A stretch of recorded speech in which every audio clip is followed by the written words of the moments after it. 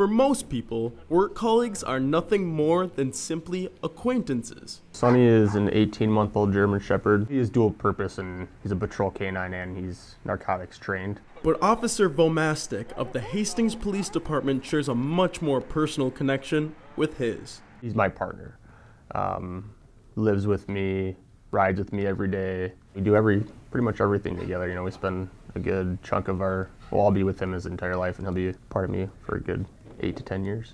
However, none of this would have been possible without an extremely generous donation from one of our community members.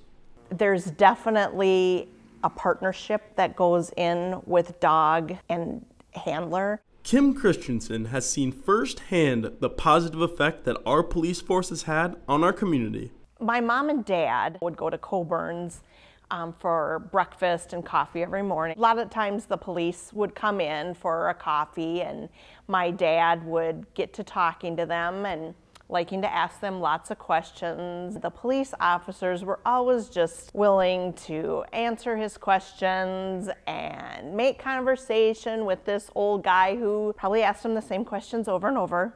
Kim's dad, Sonny, was especially intrigued by the canine unit my dad loved animals, loved dogs, and he loved the relationship that a handler and the police have. A passion that would carry beyond a lifetime. He passed away about a year ago. About a week after he passed, my mom said, Well, I have to tell you something. She said, Your dad has a memorial set aside for the Hastings Police Department and wants to buy them a canine a very generous donation and one that he managed to keep a secret.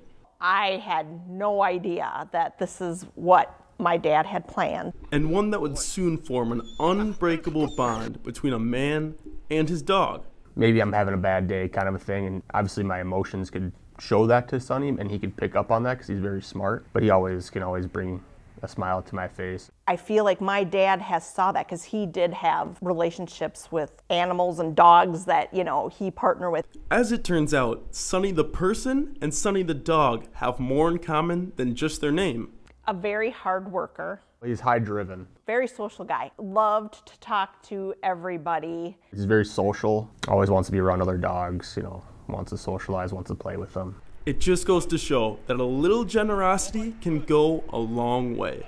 Look for the good because there is more good. We're extremely thankful for the donation from Kim's family. I mean, without the donation, I I don't know personally, but it's hard for me to say that we wouldn't have another canine in this city, which would be disappointing.